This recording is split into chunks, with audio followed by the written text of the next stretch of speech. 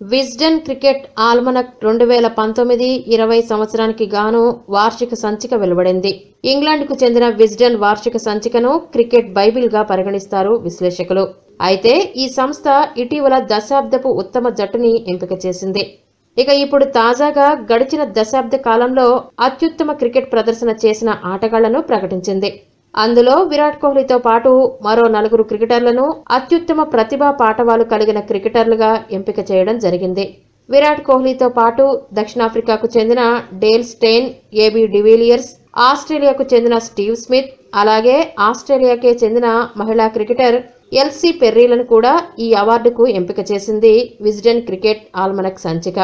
Sachin Tendulkar retire అయిన తర్వాత భారత మాజీ కెప్టెన్ మహేంద్ర సింగ్ ధోని ప్రభావం తగ్గిన తర్వాత విరాట్ కోహ్లీ తప్ప మరి ఏ క్రికెటర్ అంతర్జాతీయ స్థాయిలో ఆ రేంజ్లో రాణించలేదు అని పేర్కొంది. గత పది సంవత్సరాల కాలంలో విరాట్ కోహ్లీ నిలకడగా రాణిస్తూ ఐదు వేల ఏడు వందల డెబ్బై ఐదు పరుగులు చేశాడు. అంతర్జాతీయ క్రికెట్లో అన్ని ఫార్మెట్లలో యాభై పై చీలుకు సగటు కలిగిన ఏకైక క్రికెటర్ విరాట్ కోహ్లీనే. గత పదేళ్ళలో విరాట్ కోహ్లీ వన్డేలలో పదకొండు వేల నూట ఇరవై ఐదు పరుగులు టెస్టుల్లో ఏడు వేల రెండు వందల రెండు పరుగులు టీ ట్వంటీలో రెండు వేల ఆరు వందల ముప్పై మూడు పరుగులు చేశాడు. ఇక వన్డేల్లో అత్యధిక సెంచరీలు చేసిన క్రికెటర్లలో డెబ్బై సెంచరీలతో మూడవ స్థానంలో ఉన్నాడు. రెండవ స్థానంలో ఉన్న రికీ పాంటింగ్ డెబ్బై ఒక్క సెంచరీలు చేశాడు. విరాట్ కోహ్లీ మరొక సెంచరీ సాధిస్తే పాంటింగ్తో కలిసి రెండవ స్థానంలో నిలుస్తాడు.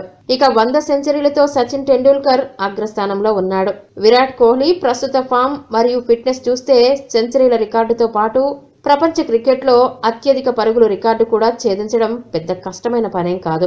భారత క్రికెట్కు గర్వకారణమైన విరాట్ కోహ్లీ భవిష్యత్తులో మరిన్ని రికార్డులు బ్రేక్ చేసి కొత్త రికార్డులు సృష్టించాలని ఆశిద్దాం. ఈ వీడియో కనుక మీకు నచ్చినట్లయితే లైక్ షేర్ కామెంట్ చేయండి. మరిన్ని ఆసక్తికర అంశాల కోసం మా ఛానల్ని సబ్స్క్రైబ్ చేసుకోండి.